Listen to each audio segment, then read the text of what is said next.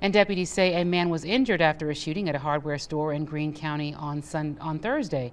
According to the Greene County Sheriff's Office, they responded around 8:20 p.m.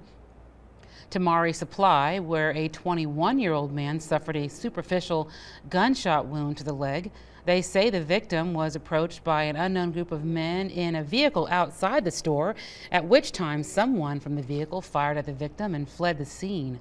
Authorities say the victim suffered a minor injury and they are still trying to determine a motive.